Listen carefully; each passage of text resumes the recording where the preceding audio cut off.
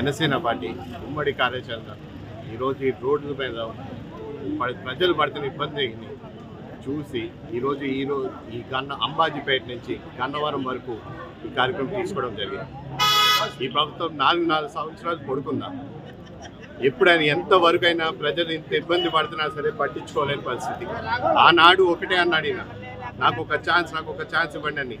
నేను ఏదైనా చేసి చూపిస్తానని చెప్పి మాట్లాడిన ఈ ముఖ్యమంత్రి ఈ రోజు వరకు ఈ రోడ్డు పరిస్థితి గురించి ఎన్నిసార్లు అడిగినా టెండర్లు వేసాము టెండర్లు వచ్చాయి అంత టెండర్కి ఎవరు పార్టిసిపేట్ చేయలేదు. మేమేం చేయగలుగుతాం అని మాట్లాడుతున్న ముఖ్యమంత్రి.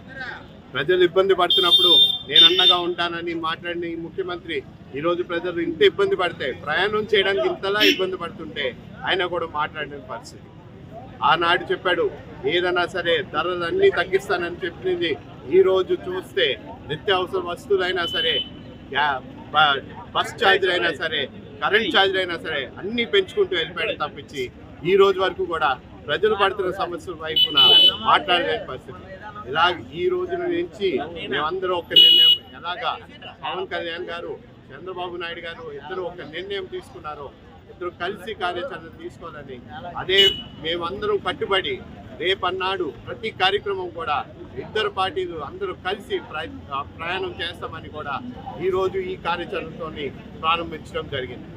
రేపన్నాడు ఈ రోడ్డు పరిస్థితి కానీ వెంటనే దీన్ని దీని దీన్ని టెండర్ పిలిచి ఈ రోడ్డు పరిస్థితి బాగు చేయలేకపోతే ఖచ్చితంగా దీనికన్నా ఈ రోడ్డు మేము రానున్న రోజుల్లోని ఖచ్చితంగా దీన్ని పూర్తిగా బ్లాక్ చేసి ఎటు ఇక్కడి నుంచి ఎవరిని వెళ్ళనివ్వకుండా బాధ్యత మేము మేము ఖచ్చితంగా చర్యలు తీసుకుంటామని కూడా తెలియజేయడం జరుగుతుంది. ఈరోజు జనసేన తెలుగుదేశం పార్టీల ఉమ్మడి కార్యాచరణ కార్యాచరణ ప్రకారం గుంతలు ఎక్కడెక్కడ ఉన్నాయో అవి పరిశీలించి నిరసన తెలియజేస్తుందిగా పార్టీ ఆదేశాల ప్రకారం తెలుగుదేశం జనసేన ఉభయ పార్టీలు కలిపి అంబాజీపేట గన్నవరం ఆర్ఎన్బి రోడ్ని చూసి ఈ రోడ్డు దుస్థితిని తెలియజేస్తూ ప్రజలకు కూడా తెలియజేస్తున్నాం. ఈ రోడ్డు గత నాలుగున్నర సంవత్సరాల్లో ఎమ్మెల్యే కనీసం ఈ రోడ్డును పట్టించుకోలేదు కనీసం గోతులు కూడా పోతలేదు.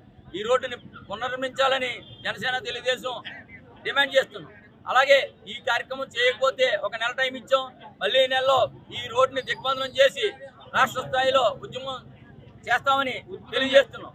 జై జనసేన జై తెలుగుదేశం. మరిన్ని వీడియోస్ కోసం ఛానల్ సబ్స్క్రైబ్ చేయండి. లేటెస్ట్ అప్డేట్స్ కోసం వాట్సాప్ ఛానల్ని ఫాలో చేయండి. అండ్ లింక్ డిస్క్రిప్షన్లో ఉంది.